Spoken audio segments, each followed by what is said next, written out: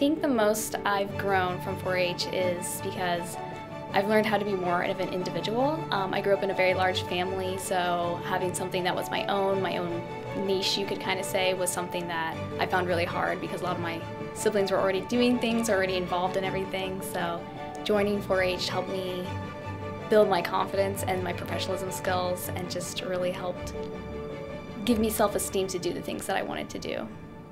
I used to be very shy and reserved and wouldn't voice my opinion, um, but now I feel like I can do that um, just because of the opportunities and experiences I've had um, have really grown me and shown that